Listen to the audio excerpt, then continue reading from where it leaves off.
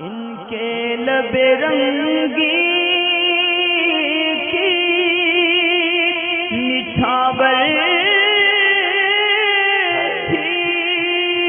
कि जिसने सबसे बेहतरीन इसाल सवाब क्या है? यानी मैत की तरफ़ से अगर किया जाए तो बेहतरीन इसाल सवाब जो है, हर किस्म का आप सवाब जो इसाल कर सकते हैं, जो भी आप नेकी का काम करें, यहाँ तक कि अपनी नमाज़ों को भी इसाल सवाब कर सकते हैं। लेकिन वही साल सवाब जो सवाब जारिया के हुक्म में हो, यानी ये कि जिसका सवाब लगातार मिलता रहे, कोई ऐसा नेक काम या नेक सामान के ज़रिए जिससे मुर्दे को नफ़ा पहुँचता रहे वो इसाल सवाब। आम इसाल सवाब से, यानी बेहतर है कि जैसे खाने वगैरह से या किसी को कपड़े वगैरह पहनाने से कि ये मुद्दत तक ही रह। मसलन ये कि किसी बच्चे का कुरान पाक लगा और आपने किसी मरहूम के नाम से उसको कुरान शरीफ दिलवा दिया तो अब जब तक ये कुरान पढ़ेगा, जब तक इसका सवाब इन ताला मिलता रहेगा। इसी तरह मस्जिद बनवाने में आपने मदद कर दी। कहीं मस्जिद का तामीरी काम या मदरसे का तामीरी काम है, उसमें मदद कर दी। या किसी तालब इल्म को दीनी किताबें मदरसे में दिलवा दी। तो जब तक उससे इल्म दीन हासिल किया जाएगा तो उसका इसाल सवाब मिलेगा। या फिर किसी तलबा की आपने ज़िम्मेदारी ले ली कि ये फ़लाँ स्टूडेंट के मदरसे के खाना, पीना, ये हमारे ज़िम्मे रहेगा कि जब तक ये आलिम की पढ़ाई करेगा तो हमने इसको सारी जो है ना इसकी ज़िम्मेदारी हमारे सर पे और आप एक तरीके से उसकी परवरिश करें, उसको खाना पीना, कपड़े का इंतज़ाम करें तो इस तरह भी साल सवाब ये अच्छा रहेगा कि इससे जो है सवाब जारिया भी रहेगा कि वो आपकी मदद से अगर आलिम दीन बनेगा तो इन ताला आपको उसमें, यानी आपके मरहूम को इसमें ज़्यादा फ़ायदा पहुँचेगा।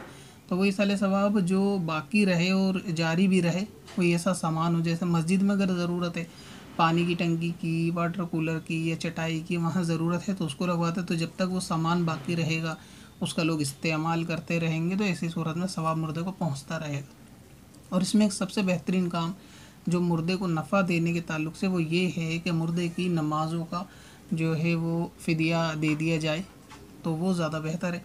मसला ये कि किसी के वालिद फ़ौत हुए तो उनको नमाज़ों का अंदाज़ा अगर नहीं है तो बारह साल की उम्र से मर्द का हिसाब लगाए, औरत का हिसाब नौ साल की उम्र से लगाए और वफ़ात तक। अगर ये अंदाज़ा है कि नमाज़ें उन्होंने अक्सर नहीं पढ़ी तो सारी नमाज़ों को काउंट करके अपनी मस्जिद में जाके इमाम साहब से जो है वो फ़ितरे के रेट मालूम कर ले कि क्या कीमत है।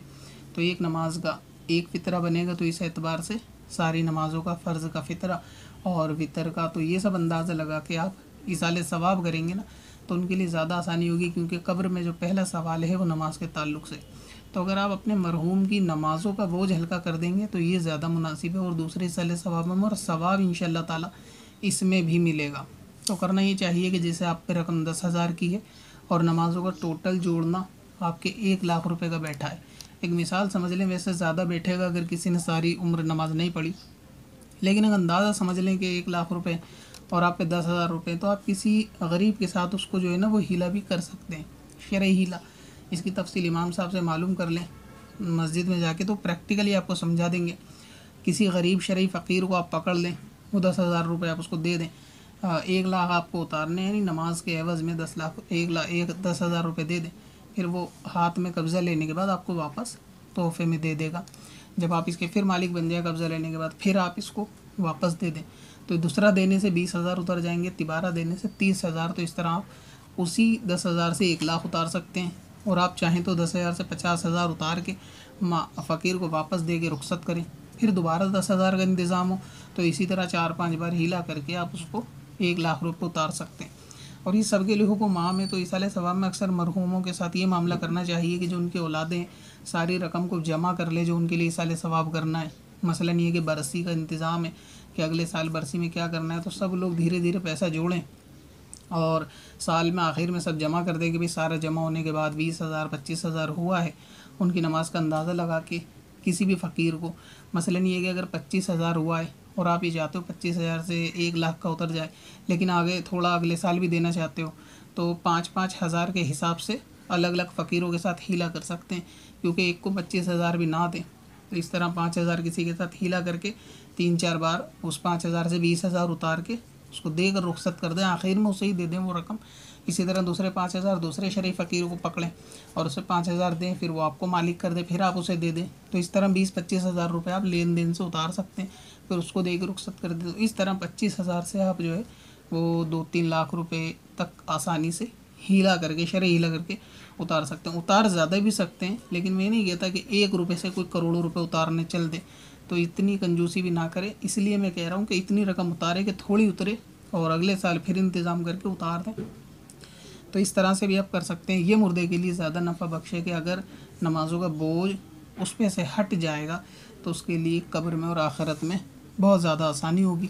और ये सबसे ज़्यादा ज़रूरी है आम मिसाल सवाब के मुकाबले में। तो इस तरह करें कि नमाज़ों का, उनकी फ़िदिया, कफ़ारा वगैरह अदा कर दें। इसी तरह रोज़े का भी हो जाएगा। तो इसकी तफसील इमाम साहब से मालूम एक दफ़ा कर ले, मैंने आपको हिंट्स दे दिए मस्जिद में जाएँगे इस बहाने कम से कम मालूम करने तो इमाम साहब के साथ उठना, बैठना भी होगा कि हमारे वालद साहब फौत हुए हैं। और इस तरह नमाज़ों का ये रोज़ों का कुछ पैसा देना पड़ता है और हीला करना पड़ता है, फ़कीर को लेना देना, ये क्या सिस्टम है?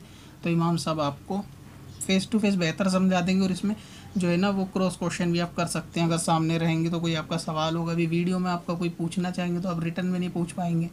तो इस तरह जाके मालूम करें, लेकिन ये सूरत शरीयत में है, इसका फ़ायदा उठाना चाहिए, जिनके मरहूम जा चुके हैं। तो उनको नमाजें जो उनके सर पे कज़ा बाकी हैं, वो सबसे बड़ा जो है वो गुनाह है। क्योंकि नमाजों ही का मामला सबसे ज़्यादा सख्त है तो इसके लिए आसानी करनी चाहिए मुर्दा। पत्थर में असल पुरनवार।